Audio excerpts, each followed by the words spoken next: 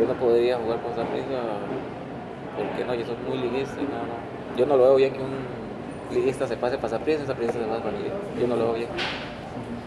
No. O sea, pese a que ocupas trabajo y si Saprissa te, te ofre- te diera la mano, no, no, no vas. No, no.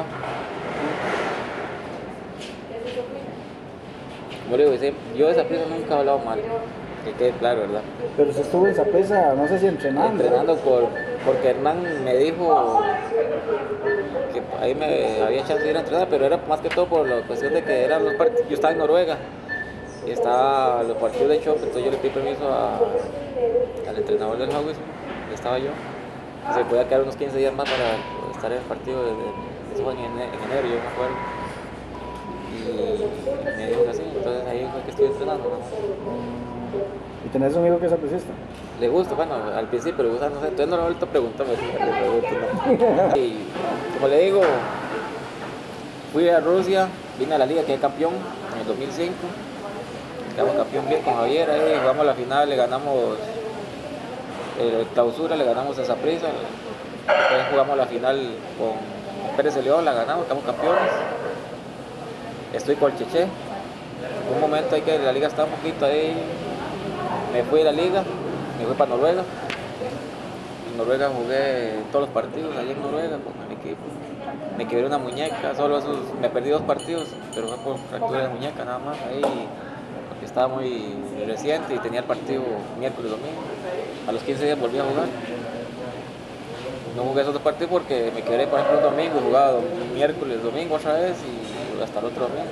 Yo al otro siguiente partido, el domingo, ya volví a jugar. Eh, regresé aquí. Es curioso, volví a la liga en el 2010. En medio del 2000 me fui para Punta Arenas, me quedan todavía seis meses. Me fui para Punta Arenas. Punta Arenas jugaba ahí, entraba de cambio. Eh, llegó el mexicano, ¿cómo se llama?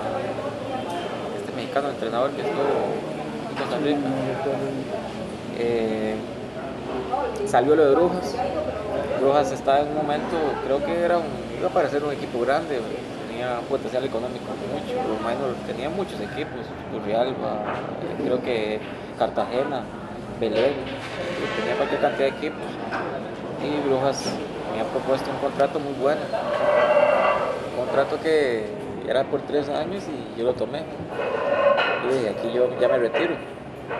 Tenía apenas 30, 30 años, ya para los 30 años pero al día que cayó Minor en prisión, entonces no abajo, equipo que estuvimos un año tratando de salvarlo porque no pagaban, no había salario, había uno que ir a entrenar por amor y siempre nos tenían, este, nos decían que ya le iban a comprar la franquicia, que tratáramos de salvarlo porque le iban a comprar, entonces mucha gente hizo esfuerzo de mantenerse y que la persona que llegara ya nos, nos, este, pagara las deudas que teníamos los meses atrasados. Por ejemplo, en Brujas yo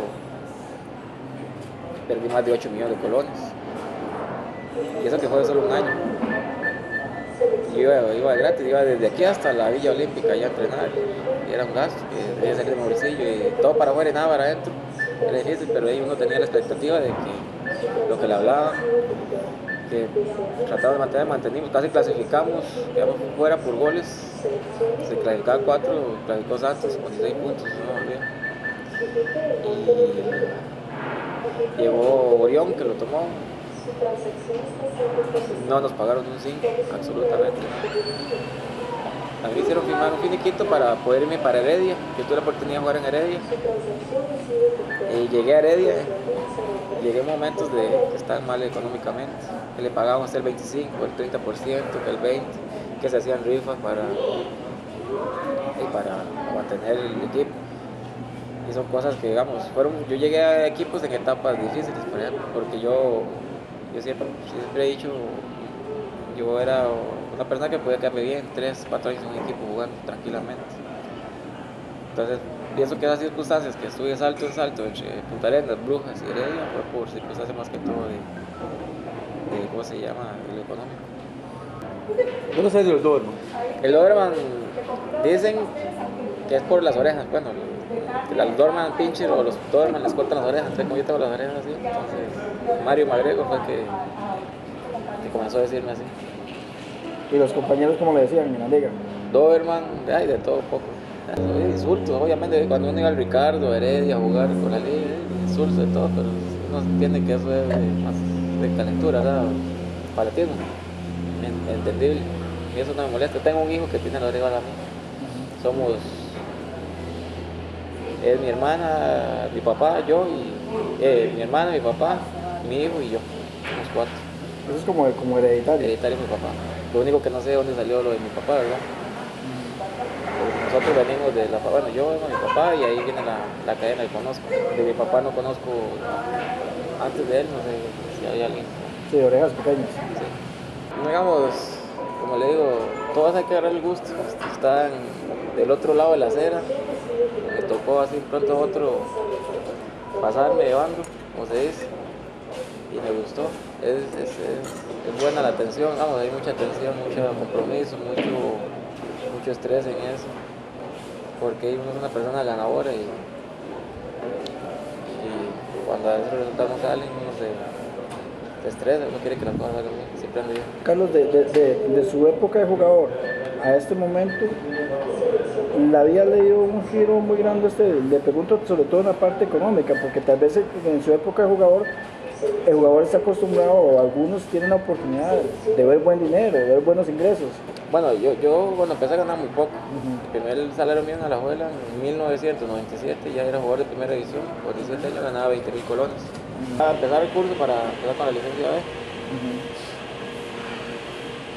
Quiero estar lo más pronto posible con todo en regla para, para manejar esa posibilidad de trabajar en algún club.